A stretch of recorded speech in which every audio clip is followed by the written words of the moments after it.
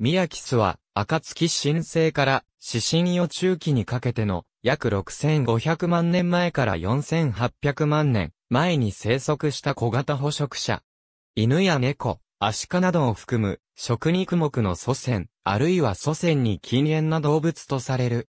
かつては食肉目、ミヤキス科とされた。しかし、これは多系統であるとして解体されており、現在では食肉系類に分類されることが多い。体長約30センチメートル。長くほっそりした胴体や、長い尾、短い足など、イタチあるいは、現在、マダガスカルのみに生息する、フォッサなどに似た姿であったと推定される。講師は、前肢より長く、骨盤は犬に近い。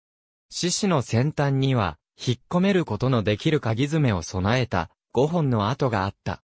この手首の骨は、原生の食肉類とは異なり、諸骨が独立していた。頭骨については、竹は低いが、同時期の肉派類などよりも体に対する比率の大きな脳頭蓋を持っていた。派生は、ほぼ魔獣類の基本型を保持しているが、上顎の最後くらいの大球歯は欠ける。上顎第4小球歯及び下顎第1大球歯は、原生の食肉類と同様の列肉場となっていた。また、骨製の鼓法は持っていない。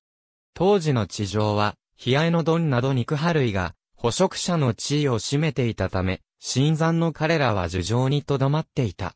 その生態は、原生の天のようであったとされ、おそらくは、鳥類や爬虫類、同じ樹上生活者である、パラミスやプティロドゥスなどを捕食していたと思われる。ありがとうございます。